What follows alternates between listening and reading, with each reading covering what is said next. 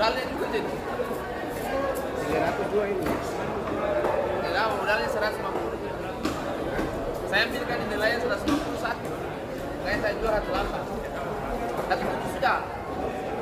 Kalau di bawah 250 saya kasih. Terus saja